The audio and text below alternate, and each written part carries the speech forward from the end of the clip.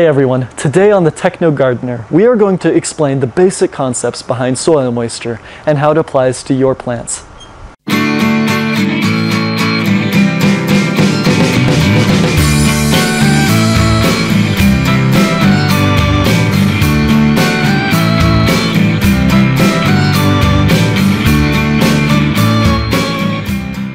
Plants are able to obtain water through a process known as capillary action.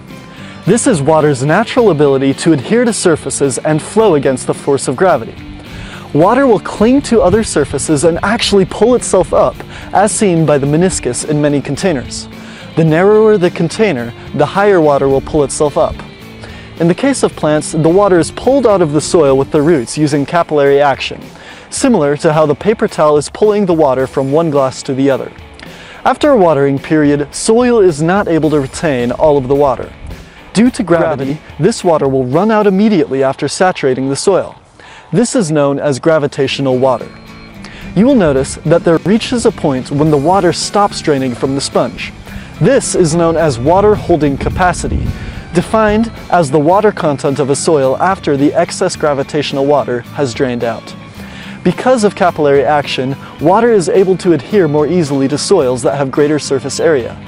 Because sand is made up of relatively large particles, it has much less surface area than its clay counterpart, and it can't hold as much water, thus having a smaller water holding capacity. However, in most cases, soil is not entirely just sand or clay, rather a mixture of sand, clay, and silt, known as loam. The amount of water that a plant can extract from a soil is known as plant available water. Imagine the sponge itself as the soil and the hand squeezing as the plant extracting water for use. Initially when squeezing, water comes out easily, but the more that is extracted, the harder you have to squeeze. There comes a point when the plant can no longer extract water from the soil to sustain life. This is referred to as the wilting point. Even though there may be water in the soil, it is too hard for the plant to extract.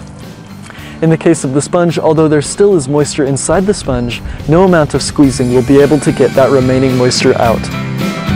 Hey, thanks for watching. To see other cool videos and products, visit vegetronix.com.